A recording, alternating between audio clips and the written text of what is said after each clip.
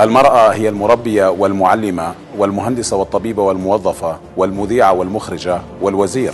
لماذا لا تكون نائب في البرلمان؟ شارك في اختيار المرأة المناسبة.